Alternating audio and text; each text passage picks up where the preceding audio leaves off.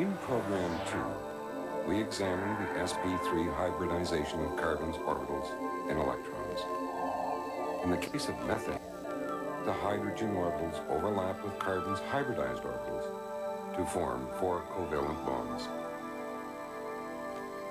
These bonds are called sigma bonds, and sigma bonds are relatively stable arrangements. Carbon bonds to a variety of atoms, including other carbon atoms. This is the structural formula for ethane. The carbon-carbon sigma bonds can be visualized taking place in this manner.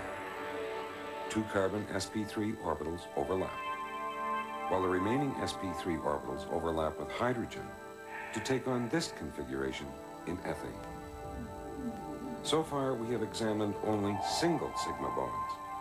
But how do carbon atoms form double bonds indicated by the structural formula for ethylene?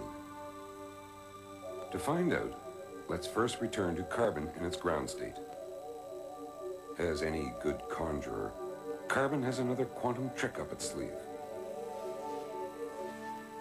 Voila, a new hybrid state. Notice that this hybrid model has a different structure than the hybrid model with the sp3 orbitals. It is this specific, different hybrid state that will explain the nature of the double bond. To understand how this hybrid state was formed, let's take carbon in its ground state and use an energy diagram, reminding ourselves that what we're assembling is pure hypothesis. Carbon contains two electrons in its 2s orbital and two electrons in its 2p orbitals. With a shot of energy, an electron in the 2s orbital is booted into a vacant 2p orbital. Simultaneously, the remaining 2s electron is promoted to a higher energy level as a pair of 2p electrons drop to this intermediate level.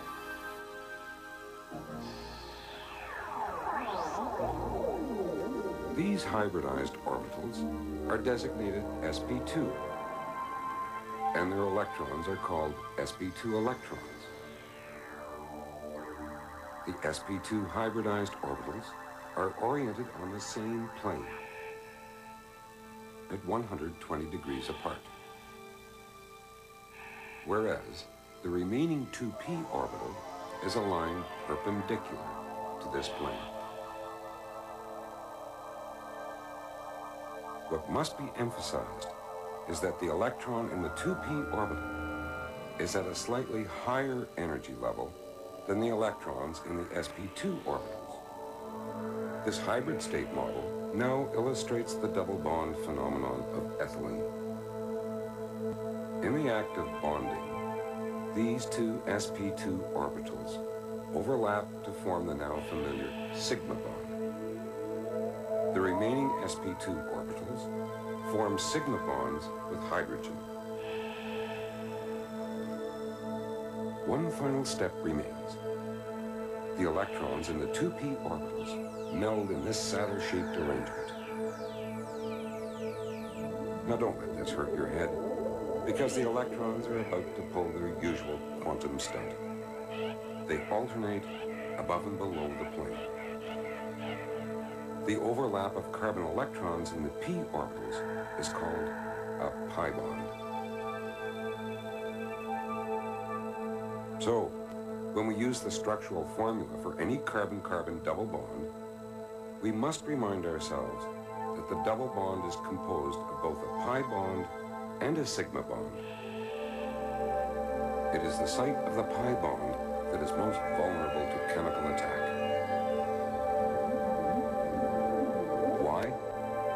Pi bonds are weaker than sigma bonds because the pi electrons are, on the average, farther from the nucleus than sigma electrons. In molecules like ethylene, the pi bond keeps the hydrogens of the two carbon atoms aligned in the same plane. As well as acting like a straitjacket in this case, pi electrons are adventurous in ways that exceeded even Kekule's dreams. In his vision, benzene formed double bonds in this manner. Quantum mechanics, however, amplifies his vision. It accepts in general his rigid sigma bonds. But the pi bonds would be locked in place by Kekule's formula. Pi electrons instead escape their shackles Houdini-like. At a higher energy level than the electrons in the sp2 orbitals, they are not bound to specific pairs of carbons, but resonate in continuous rings. We've come a long way since Wohler declared that organic chemistry is a jungle. Out of the jungle has emerged the underlying architecture of carbon. And it's this architecture that provides science with a key to discovering over 1,000 new carbon compounds each year. As we explore some of the more useful compounds, plastics that reshape our culture, fuels that fire the engines of industry, synthetic fibers that support fashion and design.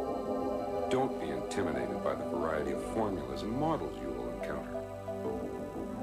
For example, in this type of space-filling model, we have depicted the overlap of the hybridized orbitals this way, so that carbon and hydrogen atoms clearly stand out.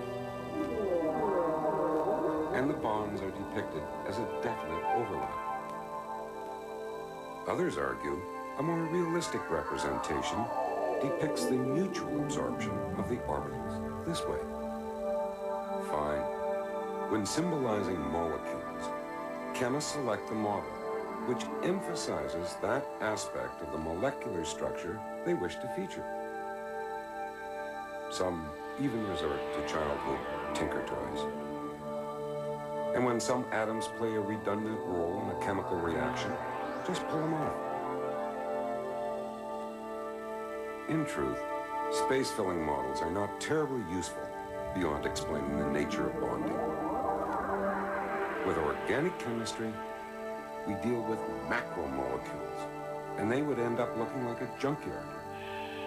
When a structural formula is much easier to grasp. In science, the ultimate test of a model is whether it is useful, so simplicity is the dictum. More often than not, chemists are only interested in the reactive sites or a potential reactive site on a molecule. This is the formula for benzoyl peroxide. With a hit of energy, we now convert it to two free radicals. The result is an unpaired electron, the reactive site on each radical. Chemists love shorthand and so replace the superfluous atoms with the letter R.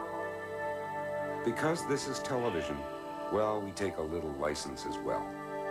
Our short form for the radical is a sphere, to which we attach a ravenous electron. Later in this series, we will explore the scavenging action of this radical in three dimensions, the real world of atoms and molecules.